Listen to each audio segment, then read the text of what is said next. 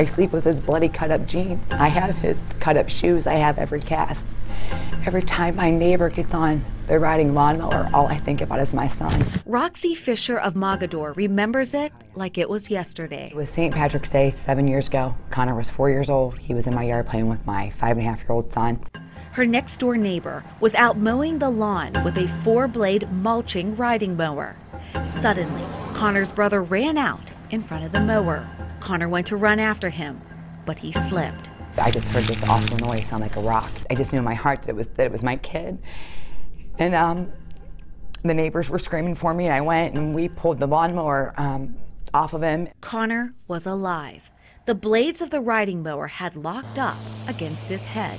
After it cut through his leg, it whipped his shoe off, and his shoe locked up the four blades or he would have been decapitated because the four blades were stuck against his neck and the top of his head. They were just like chucking back and forth. Connor was rushed to Akron Children's Hospital where doctors were able to save his foot. Looked like a bear had just ripped out his leg. It cut through everything but his main artery, or he would have bled out. Lawnmower injuries are relatively common in our emergency room in the summer. That pushed down real strong for me.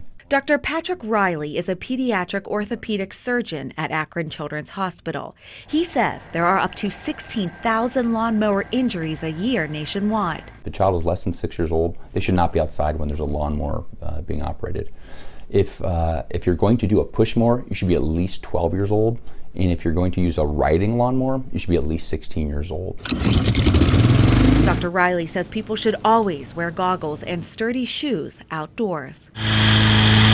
Don't use a lawnmower distracted, so put away your cell phone. Clean up the yard before you go mow your lawn. Uh, oftentimes, uh, debris or rocks are shot out of the lawnmower, and those can hit people. Yeah, I remember. Distal to this, he's got numbness. In For Connor, the pain still lingers. Just going in the ambulance to the hospital, sitting in the hospital bed for days. He never shed a tear. The only thing he said was, Mommy, are my legs still there?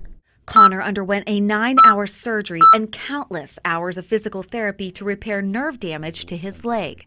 As for Roxy, she keeps Connor's bloody jeans and his ripped up shoes as a reminder to keep her kids and animals indoors when a lawnmower is revved up outdoors. Not a single day in my life in seven years that I have not thought about that moment and not felt like I was like I failed as a mother because I was right there when my own son was ran over. And there's nothing you can do to take that away. You can prevent it though. You can prevent this injury. The second that I heard my neighbor on that mower, the second I should have immediately pulled all of my kids in my house, and I did not. In Akron, Melissa Reed, Fox 8 News.